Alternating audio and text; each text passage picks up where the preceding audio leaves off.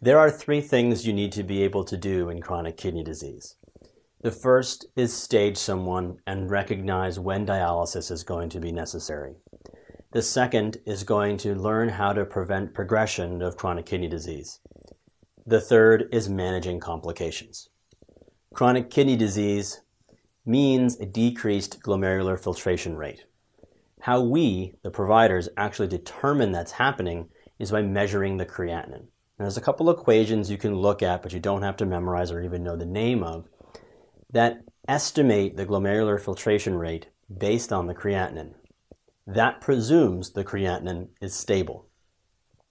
It is very unreliable to use the creatinine to assess the GFR during acute kidney injury because the creatinine is changing.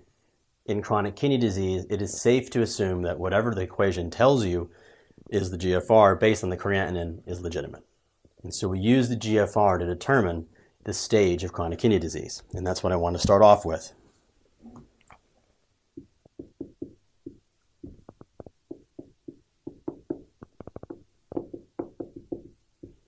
There are five stages.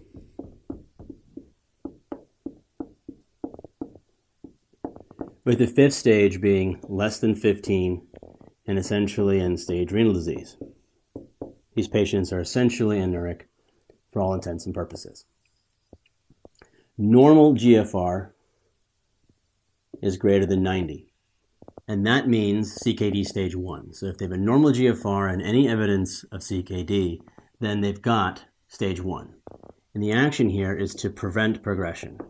And you're always going to want to prevent progression. This never changes. So for every stage, prevent progression.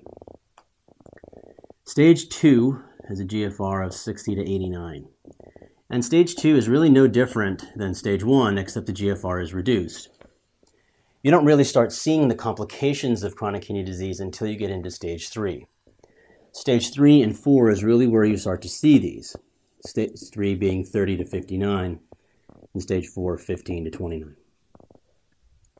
This is where you begin to see complications.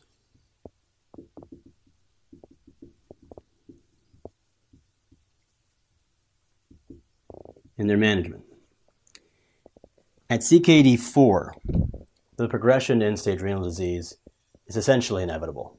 You are going to try to prevent progression and manage the complications, but at CKD4, you need to prepare for, for dialysis. Because at CKD stage 5, you must have dialysis. When I say prepare HD, what I mean is if the person is going to have hemodialysis, they're going to have to have an AV fistula. That gets put in today and matures over the period of months. You can't use an AV fistula right away. So if you know they're going to progress to CKD5, you might as well put in the fistula at CKD4, getting them ready for dialysis. There are two different types of dialysis. There's hemodialysis,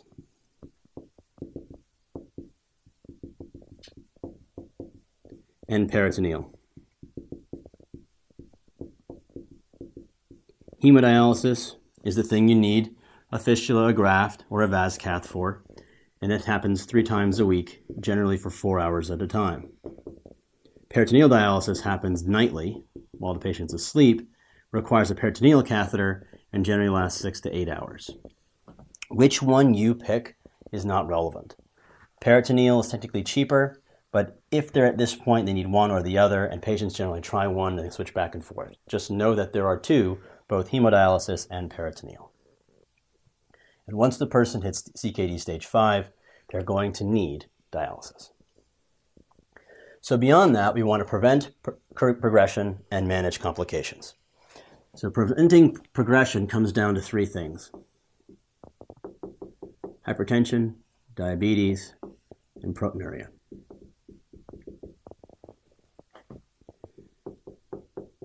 In hypertension management, as you learned in the cardiology videos, JNC8 has been very lenient with the blood pressure goals.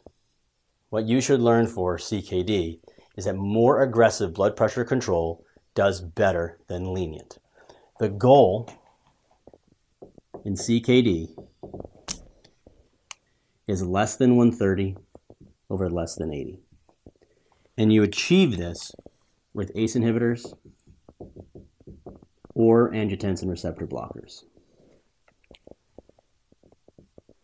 There used to be this combination of the two to prevent proteinuria. Don't do it. Pick either an ACE or an ARB in your blood pressure management, trying to get a goal of 130 over 80. Diabetes is easy because the management of diabetes in CKD is no different than the management of diabetes in general. Your goal is to have an A1C less than 7. Generally, a blood glucose of 80 to 120. And you can do that with any oral medications other than metformin, and ultimately, you can use insulin.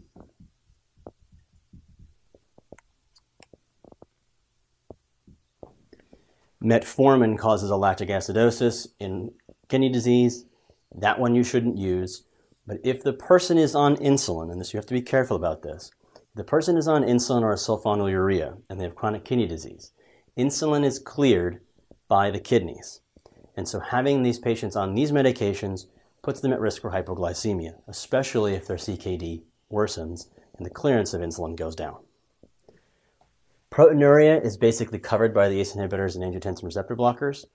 Just the fact they have proteinuria means their disease is going to progress, and if you can manage to reduce proteinuria by being on an ACE inhibitor, angiotensin receptor blocker, or a diet low in protein, they actually improve.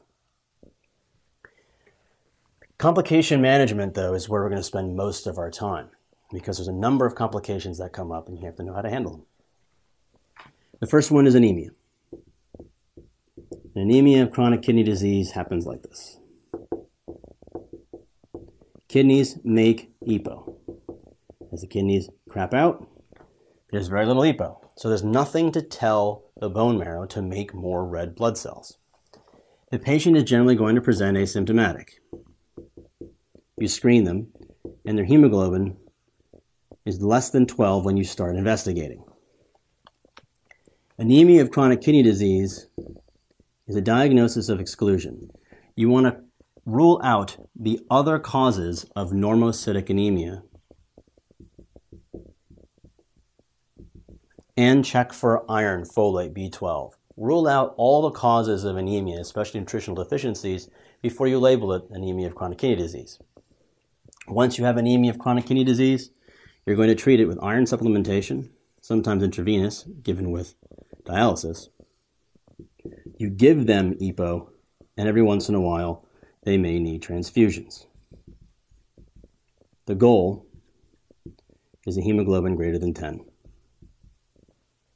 Now, also notice what's not up here. EPO is not a diagnostic step. Don't be fooled. If they've got chronic kidney disease and you've ruled out nutritional deficiencies and they have a normocytic anemia, it's anemia of chronic kidney disease, treat them with iron, EPO, and transfusions as needed two complications sort of go hand in hand, and that is going to be secondary hyperparathyroidism and mineral bone disease.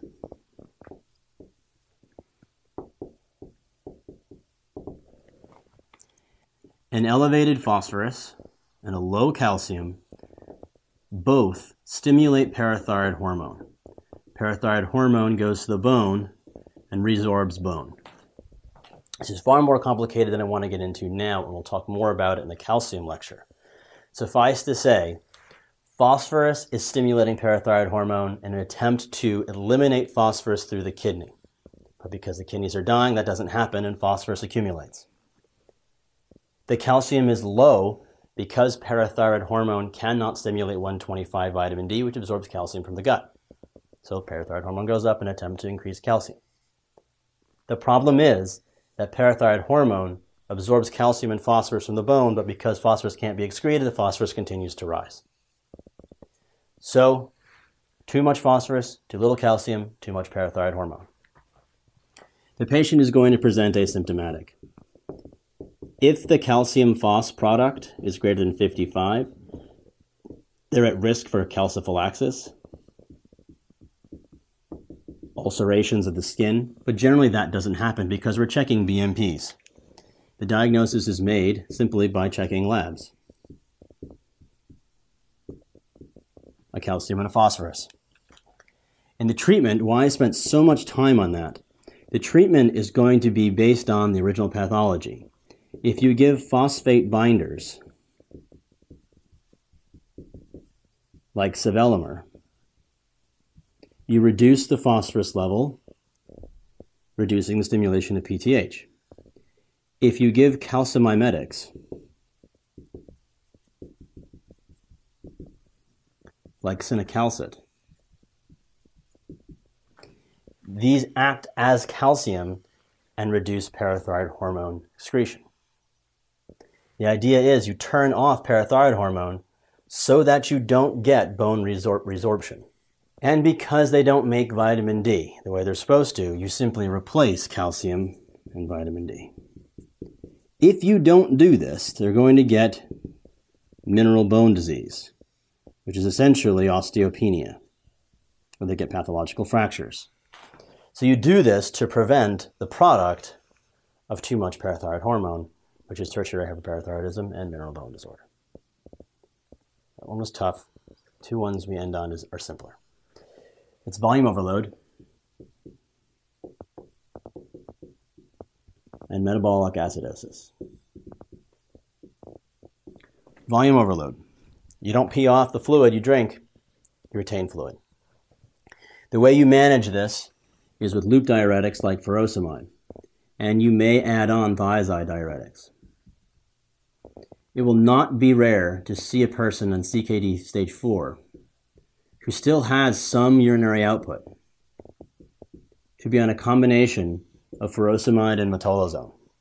What they're doing is trying to maintain the urinary output to the bitter end, trying to delay the onset of hemodialysis. Remember, prepare them for dialysis by putting in that AV fistula. And lastly, metabolic acidosis. The bicarb usually settles out between somewhere between 10 and 20. And if they have that, you don't want them to be acidotic, you give them sodium bicarb orally to balance out their bicarb. Okay, stage it based on the GFR. Types of dialysis, blood pressure goal, more stringent than usual, use ACE inhibitors and ARBs. Diabetes, get it to 80 to 120 using orals or insulin. Avoid metformin. Anemia, EPO. Phosphate binders, calcium mimetics, calcium and vitamin D. And then every once in a while, you'll be using sodium bicarb to manage the metabolic acidosis or loop diuretics to manage volume overload. That, chronic kidney disease.